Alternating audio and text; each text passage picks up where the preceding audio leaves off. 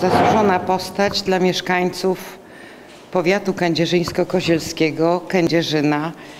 Y, Dlatego postanowiono wydać znaczek z okazji setnej rocznicy urodzin. Chciałabym przywitać pana Jacka Opolskiego, syna pana doktora, czyli jubilata, który przyjechał z Torunia, córkę, panią Martę Piszczatowską, która przyjechała z Warszawy. Jest mi naprawdę niezmiernie miło, że taki moment y, się zdarzył. Ja z autopsji pamiętam pana doktora Polskiego. E, Niektórych rzeczy oczywiście nie pamiętam, ale odbierał poród mojego brata na przykład. Ja mam dwa ślady na swoim ciele, e, także noszę pamiątki e, tatusia, dlatego e, to będzie tak jak ten znaczek, który, który dzisiaj świętujemy, te zmiany na ciele. W związku z tym jestem wzruszona, cieszę się niezmiernie. Powiedzenie, że pan doktor Opolski był lekarzem w szpitalu, to jest mało. Był pierwszym lekarzem w tym szpitalu, był pierwszym dyrektorem, był osobą, która była y, pediatrą, chirurgiem, wszystkim, bo był jedynym lekarzem w tym szpitalu. Dlatego y, to trzeba z ogromną mocą wyrazić. Wydanie znaczka jest y, jakby kwintesencją tej osoby, y, która naprawdę, tak jak córka tutaj powiedziała, ja to pamiętam, potrafiła wsiąść na rower, bo ja mieszkałam na osiedlu azotowym, wsiąść na rower o pierwszej, drugiej w nocy, pojechać. Zawsze była oddana, zawsze chętna do pracy. Naprawdę był to człowiek, przepraszam, wart pamięci na długie lata. Przede wszystkim, Panie Andrzeju, Proszę usiąść. Proszę usiąść. chciałem naprawdę bardzo podziękować, bo jest to pierwszy taki wypadek, No, że ktoś, przepraszam, pomyślał o naszym ojcu. Ym, Może tak. W 1945 roku towarzysze radzieccy stwierdzili, że Lwowiak mieszkający w Rudkach pod Lwowem powinien wrócić do ojczyzny. Załadowali nas już wtedy pełną naszą rodzinę do tak zwanego Towosu. I nie wiem, chyba kilka tygodni trwała podróż z tych Trzy rudek. tygodnie go dokładnie. Trzy tygodnie. E, Do Kędzierzyna, gdzie na dworcu znalazło się kilku kolejarzy. A ci kolejarze byli z Rudek. Przypadek. Zauważyli ojca, powiedzieli, panie doktorze, Kędzierzyn. No i tak zostało. Od, odłączyli wagon. Odłączyli wagon, Tak. ponieważ wagon był pełen różnych precjozów rodzinnych. Głównym precjozem była moja siostra i ja. Jak opowiadaliśmy przed chwilą, y, było szukanie mieszkania, najpierw w takim domku tam na dzisiejszej Jana Pawła, tuż przed NDM-em, potem zaraz obok w bloku, potem na Matejki. E, Jeszcze ojciec zaczął pracować w szpitalu, był taki doktor Apfel, chyba się na, nazywał Niemiec. A potem został ojciec sam. Jak wieść gminna niosła, miał pod opieką około 100 tysięcy ludzi. Ponieważ to był nie tylko powiat kozielski i Kędzierzyn, który zresztą w 1945 roku liczył, zgadnijcie Państwo ilu ludzi? 500. I tak się to zaczęło. Z takich ciekawszych momentów to ojciec obejmując szpital miał siły pielęgniarskie. To były zakonnice. Siostry zakonne, wspaniałe. W 55 albo 6 roku, W drugim albo trzecim. w drugim, no możliwe, trzecim, nie, tak. nie pamiętam tego dokładnie, który to był rok. Ojciec dostał w czasie urlopu zawiadomienie, że że siostry zabierają do klasztoru. Byliśmy w Jastarni na, na Tak. wakacjach i właśnie Ojciec wsiadł, wsiadł w tak pociąg jak ty dzisiaj, i, e, ojciec wtedy i przyjechał. Wykłócił się o trzy siostry. tak, Bonitę, Mów ty, bo mnie. Bonitę, Magdalenę I Arnoldę. I Arnoldę. E, Wszystkie trzy one były no, fantastycznymi pielęgniarkami, ale także instrumentariuszkami. Właściwie wszystkie pielęgniarskie funkcje spełniały. Nie, nie, nie było I kuchenne. E, No, kuchenne to, to Arnolda. też, ale to Arnolda. E, I ten, i u- udało się przez jeszcze dobrych parę lat, że te siostry były. Do, siedem, do początku lat 70. 70. i uczyły cywilne pielęgniarki. Najśmieszniejsze było, jak przyjechaliśmy w końcu, potem ojciec tam już miał te cywilne pielęgniarki i za każdym razem powtarzał, Boże, te siostry, gdyby nie te siostry, to w ogóle bym nie chodził do tego szpitala. Bo, Siostra- bo rzeczywiście były fantastyczne. Siostra Bonita Wspaniale. była świetną instrumentariuszką w czasie operacji. Magdalena też zresztą. Magdalena była taka bardziej salowa pielęgniarka, a instrumentariuszką, tak ojciec mówił, była Bonita. Bonita. I lekarze opowiadali sobie przeróżne dowcipy. To nie były dzisiejsze czasy, kiedy było tak sterylnie i przepisowo. Opowiadali sobie przeróżne rzeczy i owszem również niezbyt przyzwoite dowcipy. I największy ubaw mieli, jak siostra Bonita odwracała się tyłem i podskakiwała ze śmiechu. Piękne było, ponieważ siostry mówiły po śląsku, po polsku, ale po śląsku. I kiedyś y, któraś z sióstr mówi do pacjenta, no rusz dupę. I ojciec mówi, proszę siostry, no co ma ruszyć jak nie dupę?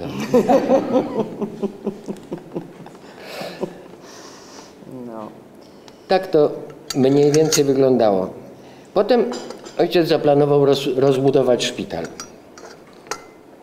Ciężko było strasznie. No. A to z powiatu, a to z województwa nie mógł niczego dostać. Dajmy na to, na poczcie starał się o taki wózek, ponieważ miał oddział gdzie indziej był. Tam na końcu ulicy Judyma dzisiejszej jest taki budyneczek, tam było kiedyś przedszkole, a potem był oddział skórno-wenerologiczny. I potrzebny był taki wózek, żeby wozić jedzenie tam dla chorych. Nie było. A tata się wziął i ni stąd, ni zowąd wygrał tele, teleturniej Kółko i Krzyżyk. Tak. Był. Pierwszy A w jakiej zwycięzca. Do kółko i krzyżyk, wie pani, taka, Wiem, taka wiem. stawia się kółko i krzyżyk i pytania były różne. Aha. Jak się odpowiadało na pytanie, można było postawić swój znaczek. Ojciec wygrał ten kół, to kółko i krzyżyk, wracał przez Opole. Mówi, wpadnę tam do tego zarządu wojewódzkiego poczty, może. A tam, pan doktor, pan chciał wózek, już tam jest. Między dzisiaj innymi- mam taki stos listów z całej Polski do ojca po tej, po tej wygranej. Okazało się, że można robić wszystko i to jest niezauważalne. Jak się jak się wygra znany. teleturniej, no to rzeczywiście staje się Najlepsze celebrytą było- na Siła skalę mediów. po, całopol. Najlepsze było pytanie, Serafinowicz zadał pytanie, panie doktorze, w roku 1911 w, w Afryce odkryto, a ojciec na to powiedział okapi. Ale panie doktorze, ja nie doczytałem pytania. No przepraszam. Ale w 11 roku odkryto takie nowe zwierzę okapi. Krewny żyrafy. Zaraz. Odkryto zwierzę, jak ono się nazywa? I rzeczywiście po, po tym okapi to pamiętam, że telefony się urywały. Wtedy to nie było tak jak dzisiaj, że podnieść słuchawkę i zadzwonić. To te międzymiastowe chyba miały dosyć. Ojciec był osobą y, dosyć zdecydowaną i gwałtowną. Kiedyś latem wybrał się z mamą na spacer i z krzaków usłyszał Zostaw! Nie ruszaj! Ratunku! Wskoczył młodemu człowiekowi dał w zęby, wyciągnął go z krzaków, wypadła panienka i mówi Panie doktorze, ja przepraszam, ale to mój narzeczony.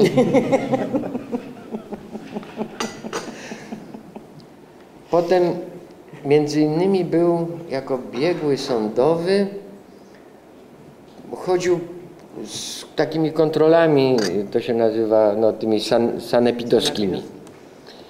Na ulicy Matejki była taka kawiarenka. Weszli tam i ktoś mocno zawiany mówił o Polski. Napij się ze mną. Mi nie, ja nie piję. O Polski napij się ze mną. Nie piję. O Polski ty napij się ze mną. Oberwał tak, że ojciec mu potem szczękę składał. Opowiadać o ojcu trochę mi dziwnie.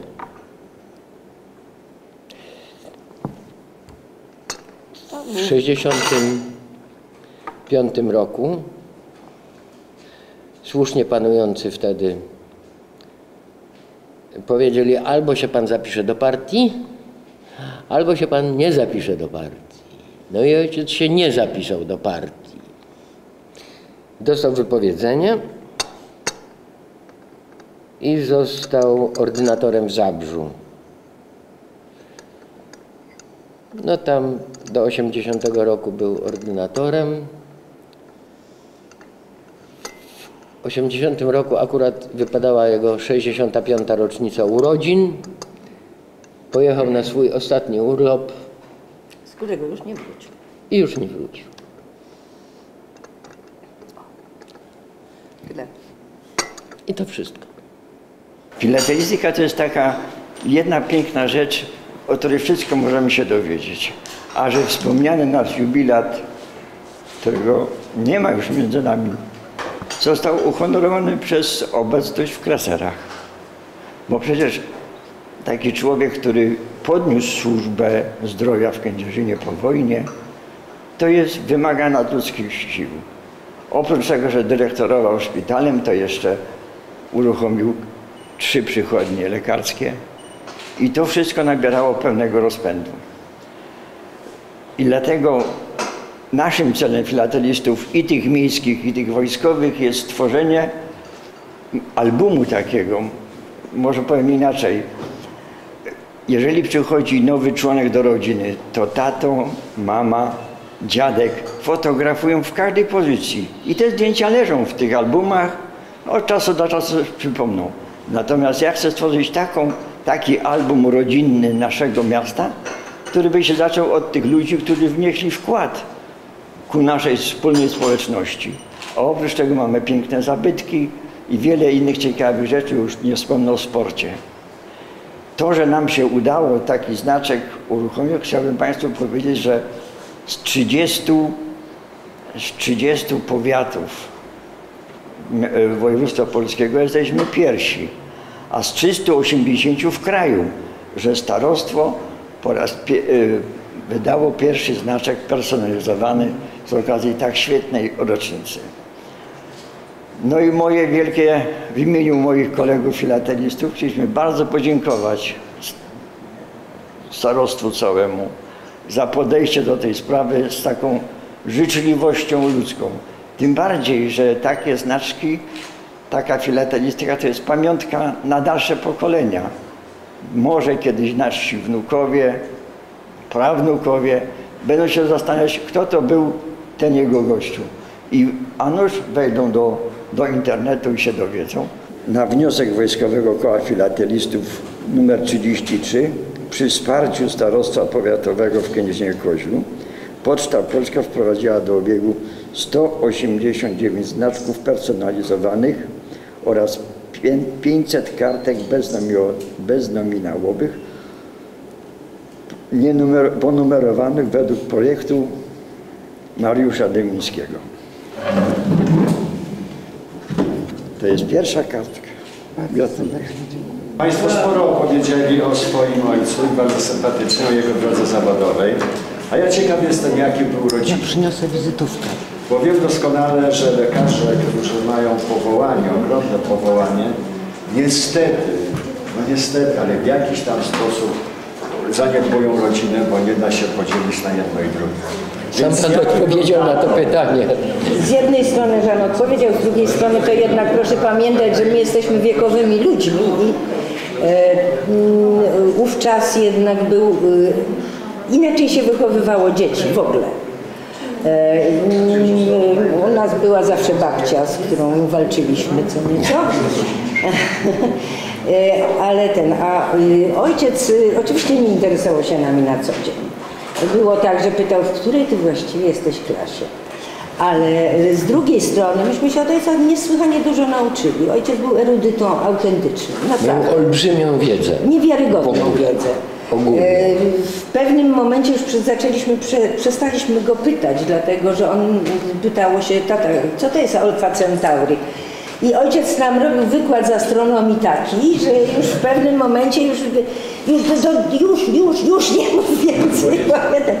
Ale rzeczywiście był erudytą. Od niego bardzo, bardzo wiele się nauczyliśmy. Myśmy bardzo dużo z ojcem rozmawiali na tak zwane tematy ogólne. Nie na ten temat, jak się uczysz i czy cię coś boli, bo ojciec bardzo nie lubił nas leczyć. Nas. Tak. W ogóle uważał, że rodziny powinni leczyć obcy, bo on sam nie ma dystansu.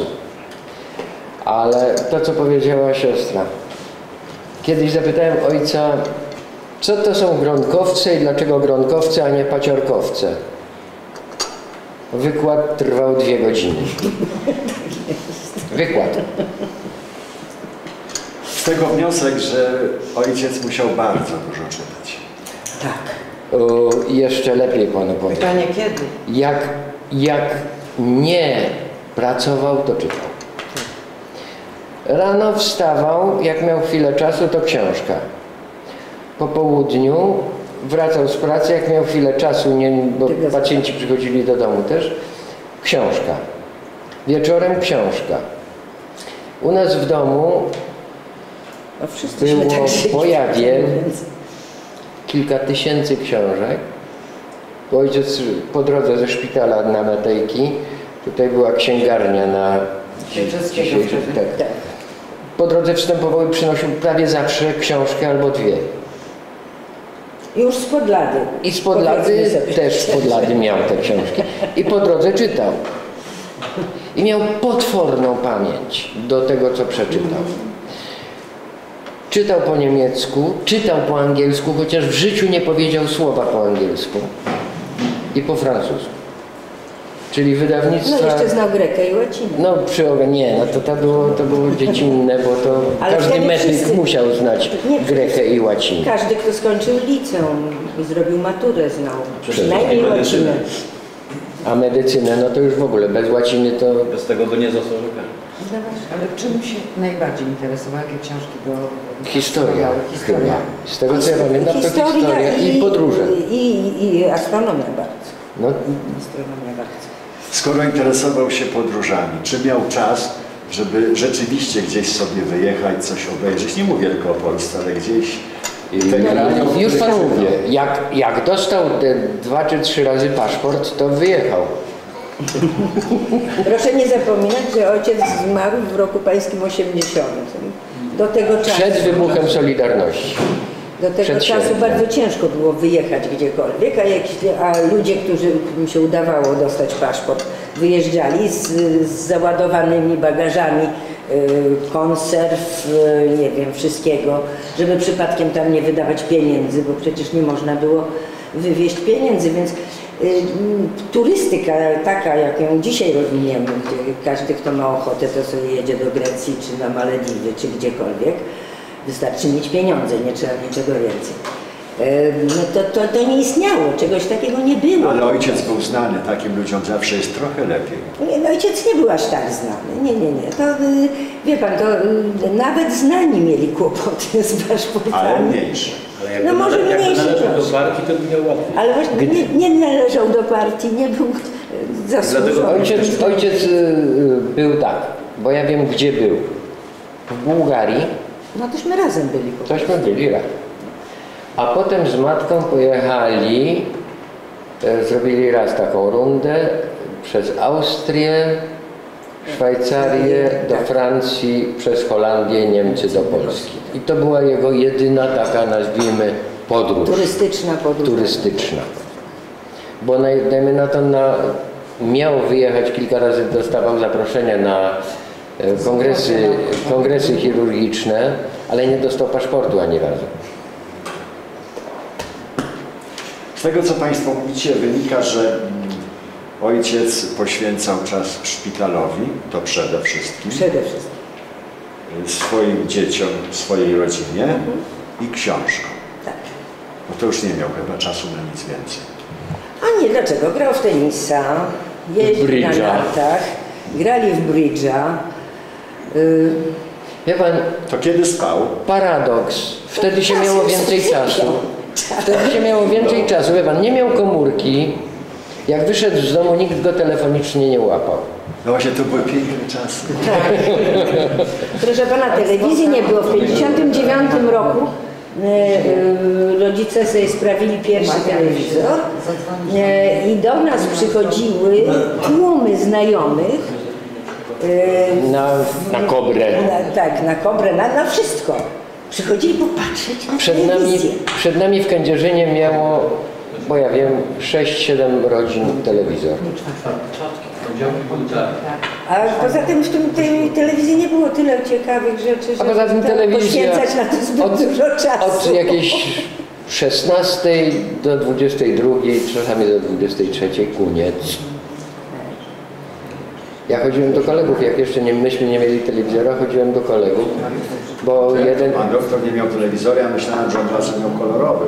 proszę pana, od razu miał kolorowy, a wieść gminna nosiła, że tak, że mamy sanatorium w Szwajcarii, cztery taksówki, Tak. cztery taksówki w Gliwicach, yy, Coś jeszcze tak. no mieliśmy dużo, wszystkośmy mieli.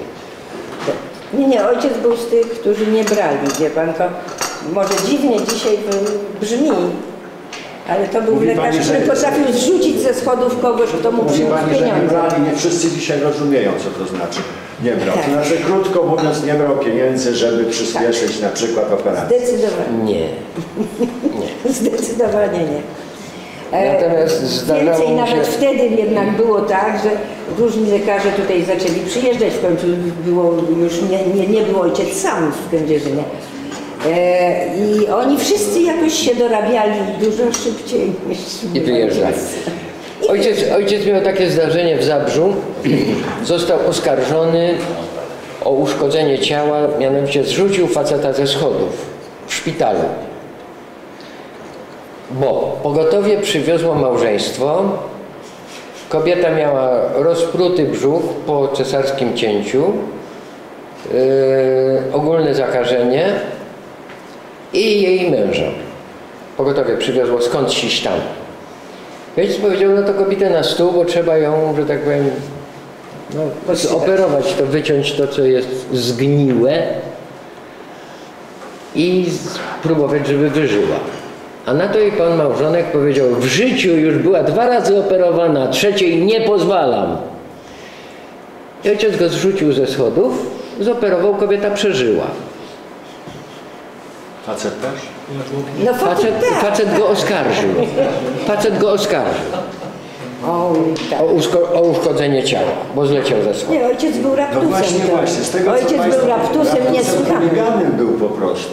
Tak, troszeczkę tak, troszeczkę tak. Czasami, czasami sobie napytał kłopotów przez to, bo właśnie potrafił powiedzieć jakiemuś panu sekretarzowi z KW, czy z KC, czy z KP, żeby ten sp i cztery kropki.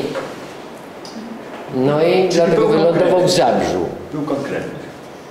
Nie, nie, był, był raptusem, był strasznie nerwowy. Ja wiedziałam, że wracałam ze szkoły koło szpitala. I jak było cicho, to znaczy, że taty nie ma w szpitalu. A jak słychać, Wrzeszczał. to, to znaczy, że tata jest na pewno. To opowiadałem panom. Nie, w domu nie. W domu Nie, Nie, był- w każdym na pewno w domu nie czytał. W domu głównie czytał, tak. Jak matka mówiła, o ojciec znowu wziął drukowany, to Drukowane, tak, to było hasło drukowane.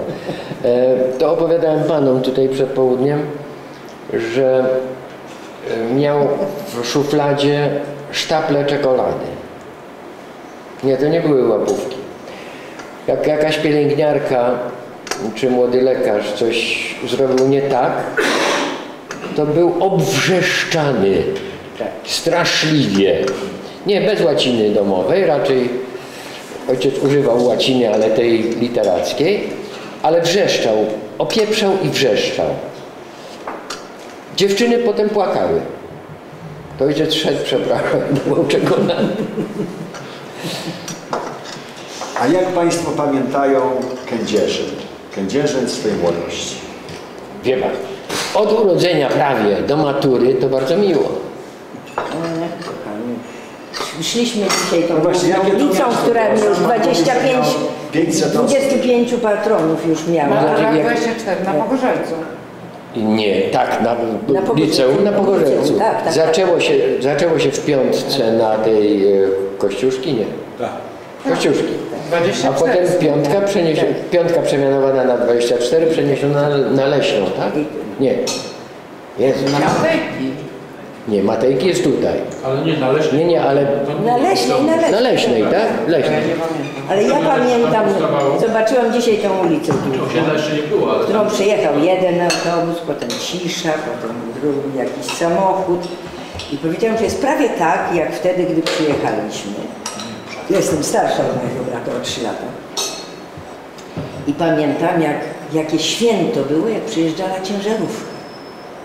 Atrakcja. To była niesłychana atrakcja, o tym się opowiadało. My, dzieci, opowiadaliśmy sobie. A ja widziałem wczoraj ciężarówka przejeżdża. Nie mu Bo my pamiętamy, my pamiętamy czasy, zanim Star 20 powstał. Tak. Także tak było. E, Myśmy mieli psa Jamnika. Nazywał go Jab. I Jab chodził sobie luzem. No nie, były to nie te czasy, kiedy linewki czy coś takiego. On sobie wychodził z domu, to sobie wychodził. I któregoś pięknego dnia ja go zobaczyłam na tejżeż głównej ulicy i Jab, który zawsze chodził strasznie taki dumny. Cały Kędzierzyn go znało. Wszyscy go znali. Ja patrzę, a taka ruda kluska tak popod Pod kamienicami, pod murem się tak przymyka boczkiem. Zobaczył mnie, wywąchał chyba mnie i natychmiast wyszedł na środek ulicy i szedł tak. Więc wie pan, myśmy byli bardzo ważną rodziną w Kędzierzynie, co tu dużo mówić. E, I, ten, i, i, I w związku z tym e, też troszkę inaczej pewnie pamiętamy te, te lata jak, niż wtedy inne dzieci. Bo e, ja na przykład cały czas w szkole słyszałam, bo ty sobie myślisz, że jak się nazywasz Opolska, to możesz sobie pozwolić. Tak było. E, czułam się strasznie tym pokrzywdzona, ale tak było. Więc, e, ale nie, nie, ten Kędzierzyn był właściwie fajny. E, po pierwsze, właściwie wszyscy się znali. Jak Tutaj była cała masa ludzi z Rudek przyjechała. Z transport, jednym z transportów my też. I ten, i w gruncie rzeczy to było takie poczucie troszeczkę obrążonej twierdzy. W związku z tym, bo to taka Ojciec był, przepraszam, że ci przerwę. Ojciec był lekarzem kolejowym całe życie. Tak. Od początku. Kolejarze go tu ściągnęli, to znaczy kazali mu się Tak, wyładować w Kędzierzynie. I ojciec potem był szefem z doktorem Palmem. tak, razem. Mieli, był tak Niemiec, doktor Palm w On, 56 on był. Ślązak, nie Niemiec, wiesz. No, ale wyjechał poprzedni potem, potem się okazał być Niemcem. No bo wyjechał do potem Niemiec. wyjechał do Niemiec, to nie nie. to nieważne. Nie, I oni byli, było dwóch lekarzy kolejowych, pan wyjechał, został sam ojciec przez długie lata. Więc y, myśmy, myśmy byli troszkę pod kloszem. Byliśmy tą znaną rodziną, znanymi dziećmi i tak na nas patrzono troszkę, troszkę pobłażliwie, a z drugiej strony myśmy się czuli zawsze na cenzurowanym, bo wszyscy nas znali. Ja nie mogłem wyjść na ulicę i powiedzieć coś, czy zachować się jakoś, bo moja mama wiedziała to za 15 minut. Się pokazałem na mieście z koleżanką z klasy dwa razy. Przyleciała nasza ciotka, która tu też mieszkała. Niektórzy z Państwa może ją znali, panią Zoncię, jak o niej mówiono ostatnio, podgórską, też kolejarka. Ona Trzy dni potem przyleciała i mówi, Jacek się żeni. No tak. A ja nawet nie wiedziałem, o którą koleżankę chodzi. Także to, Kędzierzyn był fajnym miastem. Był fajnym miastem, wszyscyśmy się znali. E, W zimie jeździło się na łyżwach po głównej ulicy, bo śnieg był zadeptany przez koła i było prawie lodowisko. Potem było lodowisko na A na narty jak się nazywała ta górka? A tu było Kaśmiszko, to była wyższa i Pulaberg niższa. Na Pulabergu, Na Pulabergu, tutaj tak. wszyscy jeździli. Tak. Na łyżwach się zjeżdżało z Pulabergu, a na Kaśmiszku była skocznia. Tak, była skocznia. Tak. No, na, na Kaśmiszku. No te górki teraz to nie wiem, takie Nie wiem, czy jak ja. istnieją jeszcze. Dom Chemika był centrum, był A to właściwym jak, domem. jak już wybudowali Chemia- dom Chemik to Chemika i tam była kawiarnia, słuchajcie, to było... Kino, To była, kawiarnia. wielki świat się zrobił. To no. był wielki świat. No a całe miasto zapewne kochało pana doktora. Tak. Tak. To- Jak był pogrzeb, to nie wiem, czy ktoś z Państwa pamięta, to y, tutaj w- u świętego Mikołaja była msza, przyjechał pan, tfu, ksiądz, generał zakonu oblatów, jeszcze kilku oblatów, koncelebrowali mszę, potem przyszli łapiduchy wziąć trumnę do karawanu, kolejarze powiedzieli won. I przenieśli trumnę na Kuźniczki. I przez całą drogę gęsty tłum po obu stronach jezdni. Że nikomu nie wpadło do To głowy zrobić jedno zdjęcie. Tak. Nikt. Mój kolega Witek Łuczkiewicz był wtedy milicjantem, kierował ruchem. I na, nasz samochód przepuścił, a innych nie. tak.